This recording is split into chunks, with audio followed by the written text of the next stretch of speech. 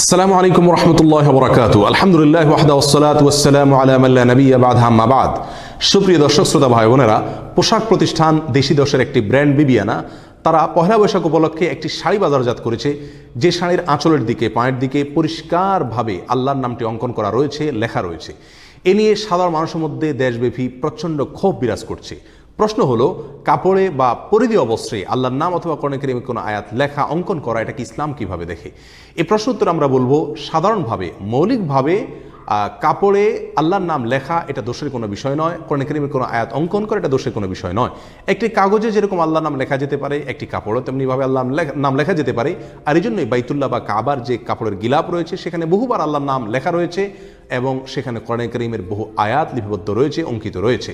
তবে এমন কোনো কাগজে, এমন কোনো কাপড়ে, এমন কোনো পাথরে, এমন কোনো দেয়ালে বা এমন কোনো জায়গায় বা বস্তুতে আল্লাহর নাম বা কোরআন করিমের আয়াত লেখা, অঙ্কন করা জায়জ নয়, যেখানে আল্লাহর নামের উল্লেখ থাকলে আল্লাহর নামের অপমান হয়, অসম্মান হয় অমাননা হয়। পরিধেয় বস্ত্র এটা শরীরের বিভিন্ন অঙ্গের সঙ্গে টাচ হয়ে থাকে। এই কাপড়ে পেশাব, পায়খানা এবং বিভিন্ন নাপাক বস্তু লেগে থাকে। এটি টয়লেট সহ ভালো মন্দ বিভিন্ন জায়গায় অবস্থান করে থাকে, নেওয়া হয়ে থাকে আনা নেওয়া করা হয়ে থাকে। এই জন্য পরিধেয় বস্ত্রে যদি আল্লাহর নাম লেখা হয়ে থাকে কর্ণকেরের কোনো আয়াত লেখা হয়ে থাকে, তাহলে সন্দেহাতীতভাবে এতে আল্লাহর নামের অপমান হয় এবং অবমাননা হয়, অসম্মান হয়।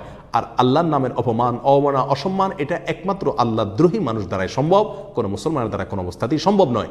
এই জন্য পরিধেয় অবস্ত্রে আল্লাহর নামের লেখা, এটাকে অঙ্কন করা কোনো অবস্থাতেই জায়েজ নয়, এটা সম্পূর্ণভাবে নিষিদ্ধ এবং হারাম।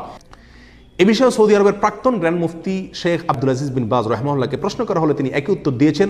তিনি বলেছেন, সাধারণত যে কোনো কাপড়ের টুকরোয় আল্লাহর নাম লেখায় দোষের কোনো বিষয় নেই, যদি সেটাকে সম্মানজনক জায়গায় রাখা হয় বা প্রদর্শন করা হয়। পরিধীয় বস্ত্রে আল্লাহর নাম বা কোরআন কারিমের আয়াত, এটা লেখা বা অঙ্কন করা কোনো অবস্থাতেই জায়েজ নয়, কারণ এতে আল্লাহর নামের অপমান হয়, অসম্মান হয়। কোরআন করিম আল্লাহ সুবহানাহু বলেছেন ওমাইয়ু আজম শাহ এর আল্লাহ ফাইন্নাহা মিন তাকওয়াল কুলুব যারা আল্লাহর নিদর্শন সমূহকে সম্মান দেখায়, এটা তাদের অন্তর যে আল্লাহর ভয় বা তাকওয়া রয়েছে, তার প্রমাণ বহন করে। অন্য তিনি বলেছেন ওমাইয়ু আজম হরমাতিল্লাহ আল্লাহ যেসব বিষয়কে সম্মান দেখিয়েছেন, সেগুলোকে যারা সম্মান দেখায়, প্রদর্শন করে, এটা তাদের জন্য কল্যাণকর হয়।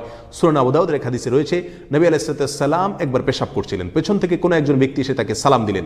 তিনি সালামের জবাব না দিয়ে পেশাব সেরে অজু করলেন। অজু করে গিয়ে লোকটির সালামের জবাব দিলেন এবং তাকে অজুর খাই করে বললেন সালামের জবাব দিতে যেহেতু আল্লাহর নামের উল্লেখ করতে হয়, উচ্চারণ করতে হয়, তিনি বললেন যে অপবিত্র অবস্থায় আল্লাহর নামের উচ্চারণ করতে আমি পছন্দ করি না।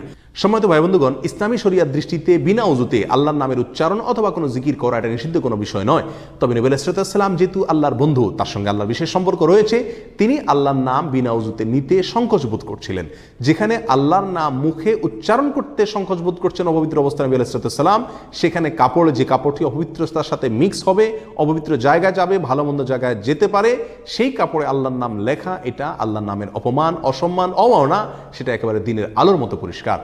অতএব পোশাক প্রতিষ্ঠান দেশি দশ এবং তাদের ব্র্যান্ড বিবিয়ানা এই কাজটি যদি তারা অনিচ্ছাকৃতভাবে করে থাকেন এবং তাদের নকশা যদি কাকতালীয়ভাবে আল্লাহর নামের সাথে মিশে গিয়ে থাকে তাহলে পরিষ্কারভাবে সাধারণ মানুষের কাছে তারা ক্ষমা চেয়ে সমস্ত কাপড়গুলো বাজার থেকে তাদের তুলে নিয়ে আসা উচিত।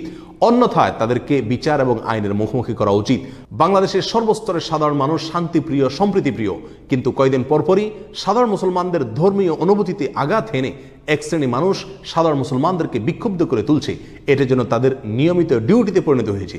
এই শ্রেণির লোকগুলোকে চিহ্নিত করে তাদেরকে বিচার এবং আইনের মুখোমুখি করা এবং সামাজিকভাবে তাদেরকে বয়কট করা সময়ের অন্যতম সেরা দাবিতে পরিণত হয়েছে। আল্লাহ তালা আমাদের সবাইকে এদের ষড়যন্ত্রের বিষয়ে সচেতন থাকবার তৌফিক দান করুন। এদের ষড়যন্ত্র থেকে আমাদেরকে হেফাজত করুন। আসসালামু আলাইকুম রহমতুল্লাহি ওবরাকাতু